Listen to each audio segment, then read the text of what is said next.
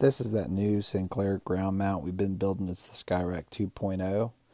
We're really happy with it. Looks pretty simple. It's just some beefy steel. Main thing is you've got to get all your posts perfectly in a line, 204 inches apart. So here we go. Good morning folks, it's Johnny Valentine with Gain Solar and we're starting a new project today. It's early morning and I just rented a fun little toy. This is the tracked concrete buggy, also affectionately known as the Georgia buggy.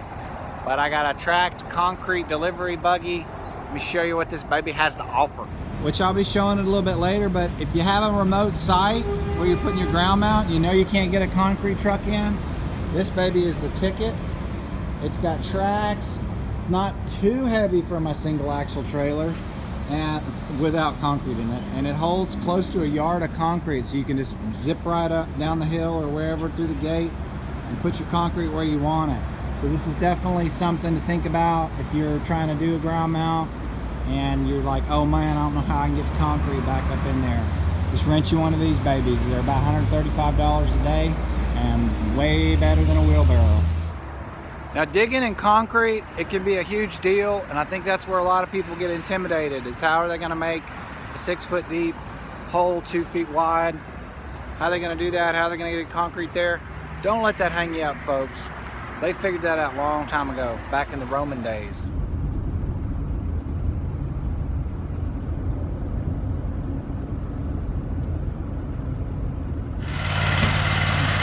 So we've already figured out new and innovative uses for the concrete buggy. And uh, bringing out the material.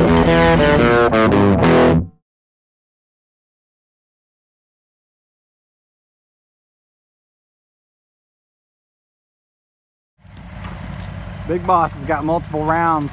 He's gonna have to battle this this time. So he's fighting this tree, that tree, that tree. That one's over. This one's over there, and we're laying this ground on it.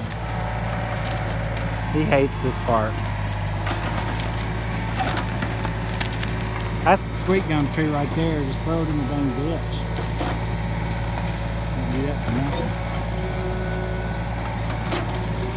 So the first thing you gotta do is paint your line.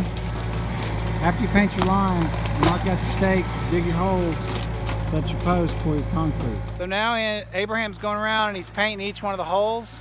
Gonna show you this. Guys, don't let yourself be intimidated by the depth of the hole on this. The goal is to have a beautiful ground mount and sometimes you gotta make a deep hole. Just don't be scared. So we're painting this and you know, we're not getting totally insane about being perfectly straight right now. We're just keeping our measurements and our post distances right. And then at the end, when you set up the laser and start setting the posts, that's when you actually get really crazy about it. So this will be the next step, painting out the dig spots. If you're just a total noob, you may not know about this, but these are concrete stakes. And they're made out of steel, they're reusable. Scott and I have had multiple custody battles over these, but he ends up getting to keep them. He has full custody right now. These reusable concrete stakes are really nice and they have holes on them so you can shoot screws in anywhere you want. Can get these at any big box store. So here we are, our posts are set and you can see we got a good bit of fall. We are having to stand on a ladder at the end there. Right here we're pretty low and uh, Scott's getting the trench in, trying to beat the concrete remove the trucks, the concrete to come in, and we are going straight towards beating the rain. Rain's supposed to be here about 45 minutes. There's the Georgia buggy in all its glory. I'm just getting a little more water. Didn't quite have the slump I want.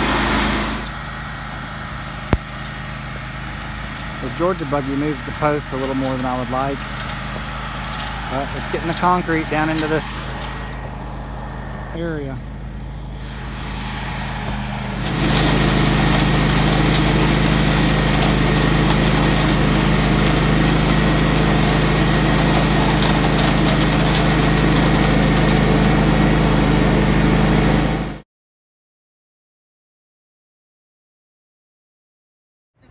It's official. We beat the rain.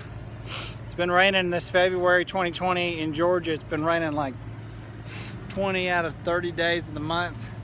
Solar's in the ground. Poster in the ground. Thanks to the Georgia buggy. The big boss himself is digging away. So we got the conduit in the ground, we got the solar in the ground. And uh, we're gonna clean up and get out of here before we get too wet. Now, now guys, from a solar standpoint, it, it doesn't get much better than this. You got a cleared out field behind you. And uh, and then right over here, you see the trench just goes right uphill. There's the septic tank, back of the house where the utilities are. And uh, so we're just gonna bring our pipe right there. We're gonna go into the crawl space and go around. And then right there, we're gonna put our disconnect up and that's gonna be where we're gonna tie this thing in. So This guy's got a ginormous meter base. You can have two heat pumps. It's a four bedroom house. And uh, we'll probably just tie in right there with a breaker. And the, the solar, you can see where it's stubbed up, so we'll go inside the crawl space and come around back. And pop in here, pop in right here. Probably right there. It would be just, just right. Now these folks were Californians.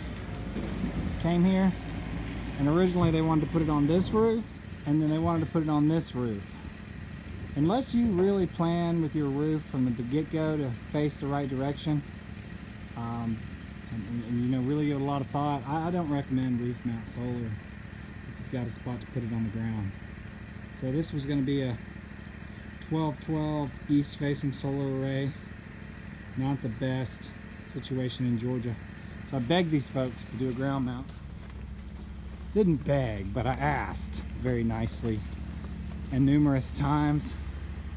Finally, when I came out here and lined it out where it could go down behind the house, I was able to get an okay from the customer. And now they're gonna have a nice little ground mount down the hill, tucked away. See the post right there. Always like to do something a little bit.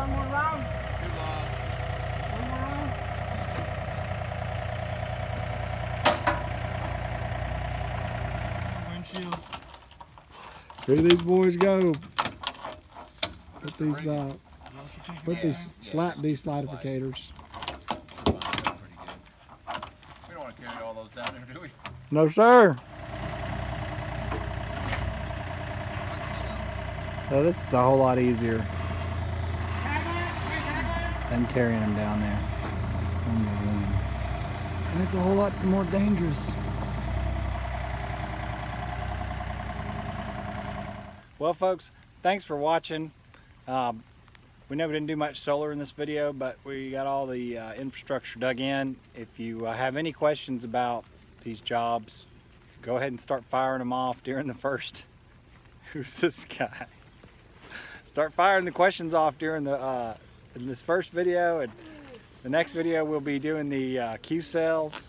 We'll be doing the Enphase What's he talking about? IQ7 pluses. We'll be uh, doing a nice Sinclair ground mount.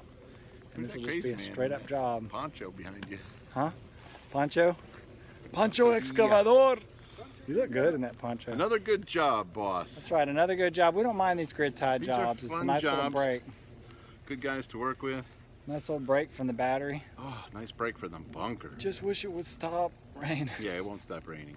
It's been challenging.